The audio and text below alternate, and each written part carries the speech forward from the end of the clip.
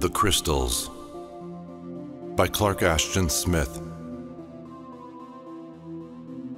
Narrated by Matthew Schmitz. Raptly, as one who would divine the perilous eyes of sleep, and the dreams and mysteries which lurk therein, I sought to fathom the gulf enclosing orb of the crystal.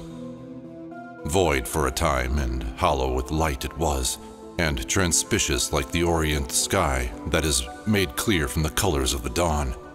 But soon the light was centered to a star, and the crystal itself, as if pregnant with the infinite, became a tenebrous and profound abysm, through which a teeming myriad of shadows, vague as incipient dreams, or luminous with a glimpse of vision not prefigurable, fled in an ever-changing phantasmagoric succession about the star.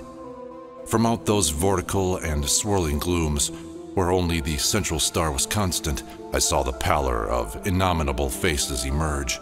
Faces that broke like bubbles, and forms that were strange as conceptions of an alien sun, with the eidolons of things which were imageless before, swam for a little in that phantasmic wave.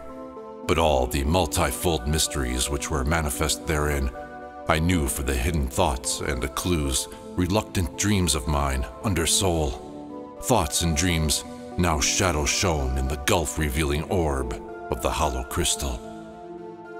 Thus, in the crystal of time and space, whose gulfs contain all that we call the infinite, may God behold the manifestation of all the multiform mysteries and all the secret thoughts and dreams which abide in the centermost sanctuary of his being and naught may appear to him but these, his thoughts and dreams forever shadow shone in the immeasurable orb of the hollow crystal of time and space.